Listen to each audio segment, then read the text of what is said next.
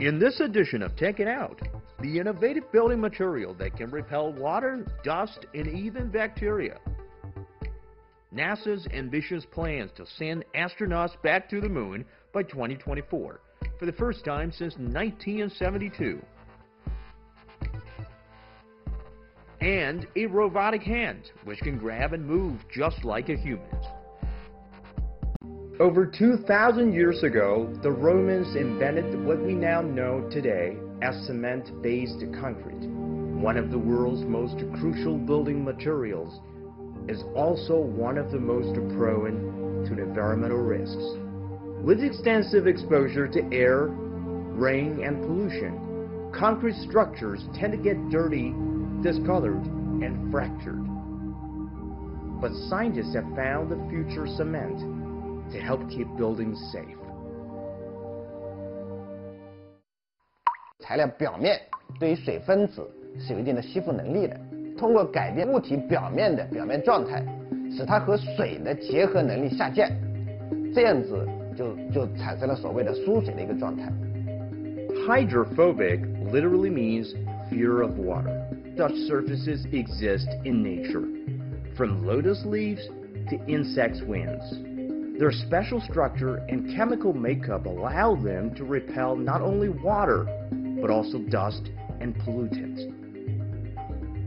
And scientists have been able to emulate these super hydrophobic surfaces in the lab for application to daily items like clothes and shoes. At the core of these products is a highly water repellent silicon polymer known as PDMS. PDMS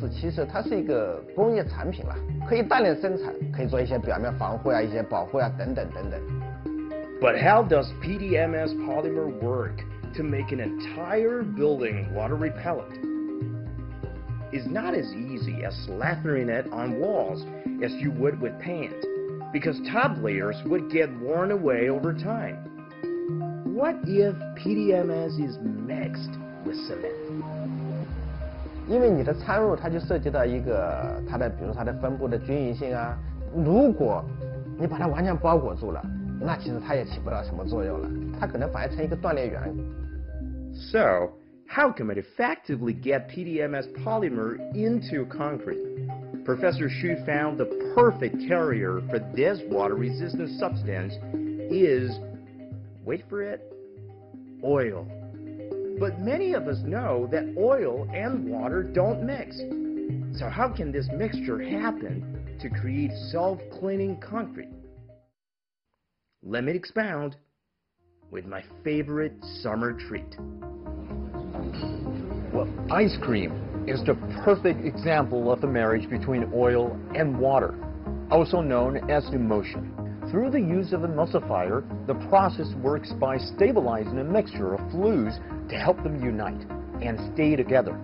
Therefore, it's not entirely true that oil and water don't mix. They can, with a little bit of help. 乳化完了以后，它就形成一什么一种什么样的结构呢？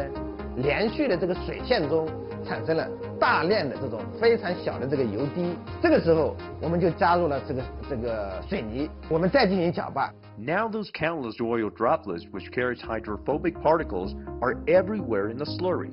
When it is dried and heated, the oil droplets will evaporate and lives behind those tiny pores coated with hydrophobic polymer. The end result is a lightweight, water-fearing new concrete. It can repel dust particles and liquids other than water, including milk, beer, soil sauce, coffee, and colored water. From the surface to the inside, the material keeps a super hydrophobic quality, even after it's ground into powder. 我们的传统的这种多孔结构，它的孔差不多要一个毫米左右，但是我们的这个减小了五十倍以上，它的孔越小， 就是说从它的隔热、隔音的效果来说，它应该更有力。Regular concrete undergoes the curing process for it to harden and gain strength, which involves days of keeping it moist with water. However, in the case of this new concrete, it is impossible to add water into it once the superhydrophobic surface has been generated. So researchers are now working to change this so the material can go through the same curing process as regular concrete, in turn making it stronger and more efficient. Scientists are also looking to enhance the material from being self-cleaning to medical level, where it can not only resist water and dirt, but also bacteria. 水的话，对于细菌来说是一个非常合适的场所。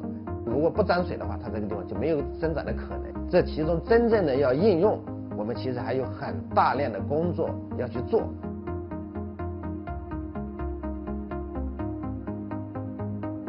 Welcome to Science Saturday. I'm Kasturi Manikam. Today we look at science news ranging from global plastic waste to a new prosthetic hand.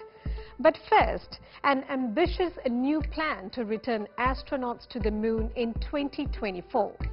The program, called Artemis, is the first of its kind since the Apollo 17 mission in 1972. It costs $28 billion and approval for this funding now falls to Congress. Once cleared, astronauts will be required to collect samples and conduct a range of science experiments. NASA says the program will help the United States establish a strategic presence in space and develop its international partnerships. More relief for limp amputees. Scientists have developed a prosthetic hand that can restore over 90% of functionality to people with upper limb amputations. It's based on the size, weight, appearance and natural grasping motion of a human hand. So this means it can grip and move like a normal hand. Researchers claim the prosthetic hand Hannes is ready for market and has been given regulatory approval. They are now finding investors to make it a reality. A new alarm for plastic pollution. Scientists say global plastic waste is on track to increase sixfold to 53 million metric tons by 2030. It is currently estimated that around 8 million metric tons of plastic waste enters the world's oceans, lakes and rivers every year. The finding suggests a 25 to 40 percent reduction in plastic waste along with a cleanup of 40 percent of annual emissions. The warning comes amid increasing concern about the rise in production of gloves, disposable masks and extra food packaging in response to the coronavirus.